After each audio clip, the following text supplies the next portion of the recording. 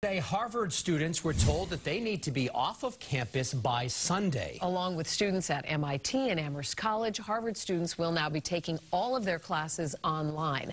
It's a step that schools are taking all over the country to protect students and faculty from coronavirus. WBZ's Bill Shields is live at Harvard. And Bill, this is not what many students wanted to hear.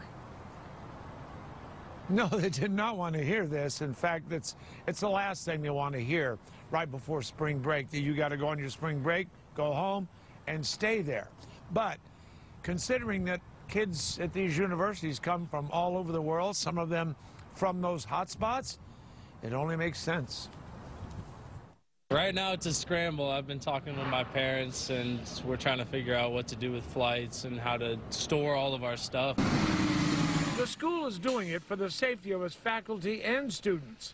Virtual classes, everything done online. But the students we talk to don't really like it. They're giving us five days to pack up for good. I know my roommate has to go back out of the country. I'm assuming some people from Italy need to figure out what to do. Um, yeah, it's pretty bad. Is it an overreach by the school, do you think? Or oh, excessively, yeah. I mean, it's going to cost a lot, a lot of money, and I think a lot of people are going to have trouble finishing their classes at home. Harvard wants all the students gone by Sunday.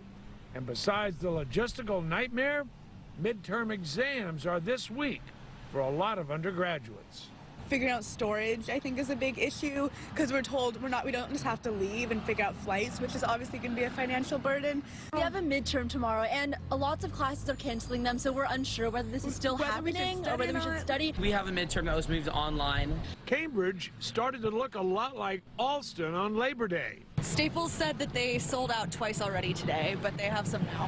While classwork will be online, this professor says it will lack the human interaction of teacher and student.